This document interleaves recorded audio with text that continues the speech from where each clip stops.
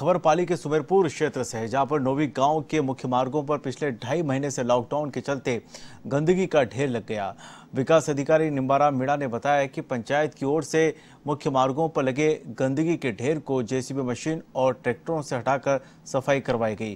वहीं सरपंच चंदा देवी राठौड़ ने बताया कि स्वच्छ भारत अभियान का विशेष ध्यान रखा जाएगा। इस मौके पर ग्राम पंचायत प्रशासन मौजूद रहा।